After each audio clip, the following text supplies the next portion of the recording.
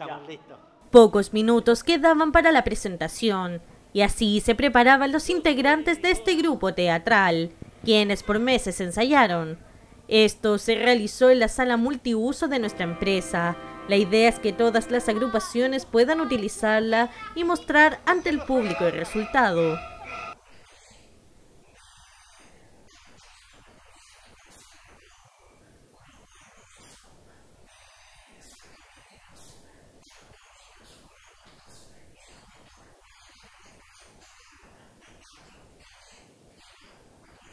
En esta oportunidad se presentaron los niños, quienes con su gracia deleitaron a los asistentes con una obra llena de dinamismo y energía.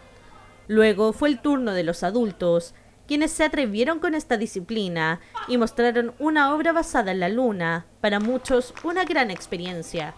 La verdad que tenemos que apoyar al presidente que va a ser eh, eh, para, para gobernar los los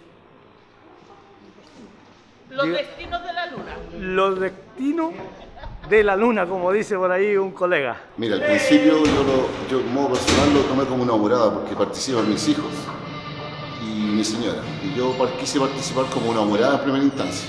Empezó a pasar los meses, los ensayos y le fui tomando el gustito de actuar. Sin duda, los que más disfrutaron fueron los asistentes, quienes destacan la importancia de dar espacios culturales en nuestra comuna. Me gustó mucho la obra y los niños lo pasaron muy bien.